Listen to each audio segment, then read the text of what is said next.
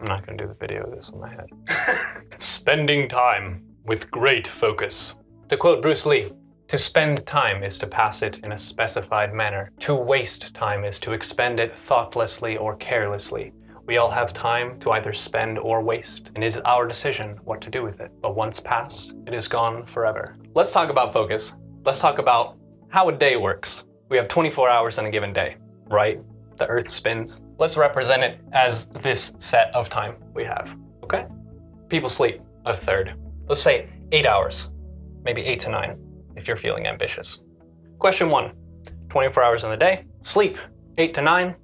Why not sleep four? And then you can be up for 20. That's because you'll feel terrible. You won't be able to focus. You won't be able to engage directly with what's going on. It'll feel kind of like a muddy, groggy, almost sleep drunken experience. Sleep is important. You want to spend time effectively, you want to think creatively and critically, get your sleep. The rest, whatever. Do what you have to. This is your field of vision. This is your fovea. This is the high resolution point of your vision. Think about you're reading the words on a page.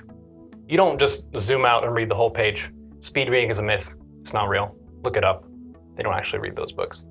You have the words on a page, you need to scan with your fovea. Similarly, you have your day that's in front of you. You need to focus on one thing at a time. You can't just say, This is all the stuff I need to do. I'm going to have octopus legs and do everything all at once. No, one thing at a time. Understand precisely what you're working on at a given time. What's the first thing you should do in a day? Just be. Listen, breathe, experience, be thankful that you're alive, and then have breakfast. Breakfast is important. Why is breakfast important? It's because the brain, what's up, brain? 20% daily calorie intake. It goes to your brain. Isn't that expensive? Wow. But we're humans, we're smart. You would expect a big computer to be pretty expensive. Eat your breakfast, get your energy for your brain. Moving forward from your breakfast, you would say, What is my first task? What is the most important thing that I'm trying to get done today? Put that before you. Understand what that thing is. Understand the things that want to kind of edge in and distract you, like checking your emails. Sweep it to the side. What is this, Reddit tabs? Get to that later. I'll just put you over here. Reddit's pretty cool. You don't want to have a bunch of different things that are all eating a piece of your most precise focus at a given time. You want to have one thing, and you want to focus on that as hard as you possibly can to get things done. It's amazing. Let's think about maintaining focus throughout the day. You're focused, right? Think about your focus is holding up a stack of books. It's not that hard. You have muscles in your arm. It's only three books. You're fine. Think about holding this for seven hours. Your arm will hurt. You will hate your life in a very deep and profound way. You should put the book down at least once every like hour or two hours or something. Take breaks. Understand when your focus is starting to slip, when you're kind of getting a little bit more distracted. Take a break. Take a breather. Do a stretch, do a yoga, whatever you have to. Do some push ups and pull ups. It's good to take breaks. It's good to engage your body and say, all right, I know my brain and my focus, they're trying to do this thing, but I'm getting tired. So I'm going to take a quick break, regather my efforts, and then hit it again with my most precise center focus. Let's say breakfast is this first line in your tree of the day. What's your next item in your day? Do you have other things going on? Sometimes people need to, let's say, drive to work. What happens when they drive to work and they're texting on a cell phone and they're listening to music and they're doing their makeup and there's a little dog like hopping on their lap and stuff? They crash. It's terrible.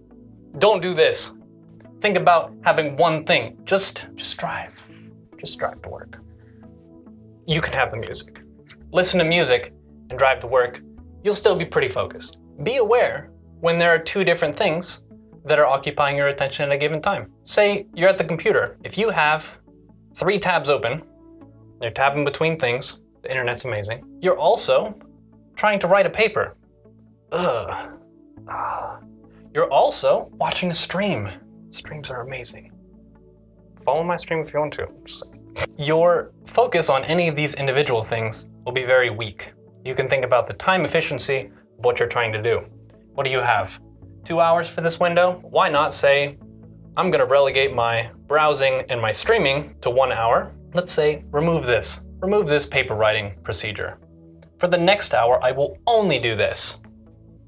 You'll be going a lot faster. If the entirety of your focus is directed toward one thing. This time is great. Take this time for yourself. Enjoy the internet, learning, experiencing, sharing time with other people, but you've gotta get shit done too.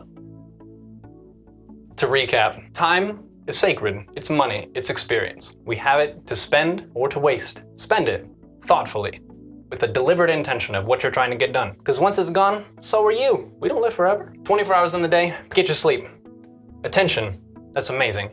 Focus, that's a smaller thing. Understand what's in the center of your focus at a given time.